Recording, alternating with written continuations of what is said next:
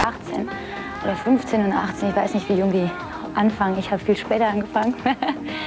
da ist es, ich glaube, der zählt ja unheimlich, wenn man also verliebt ist als junges Mädchen, dann ist es eigentlich viel wichtiger, Zärtlichkeiten zu küssen, Zärtlichkeiten, Körper zu spüren. Und Sex ist nicht unbedingt das, was immer sein muss. Und sowas ist, glaube ich, auch heutzutage in der Jugend, sowas überlegt man sich schon. Wann macht man das, wann ist es soweit und bereitet sich ja vor.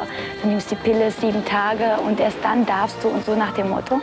Und ich glaube schon, dass das Mädchen machen, die kein Kind haben wollen. Und wenn du diese Zeit hast, um zu überlegen, dann kannst du, dich auch genauso, kannst du dir genauso die Zeit nehmen, mit deinem Partner zu reden.